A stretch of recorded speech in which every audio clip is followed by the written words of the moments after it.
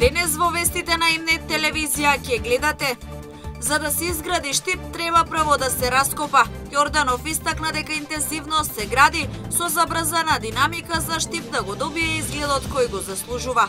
Од денеска започнаа и активностите во населба 8 ноември.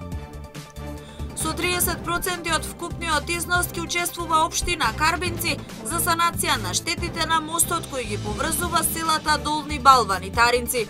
Остатокот од парите треба да се обезбедат од Министерството за локална самоуправа.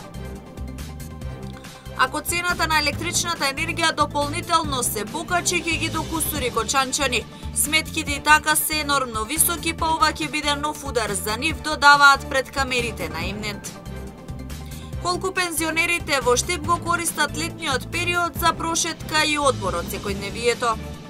Со вестите почнуваме веднаш по рекламите. Останете со нас.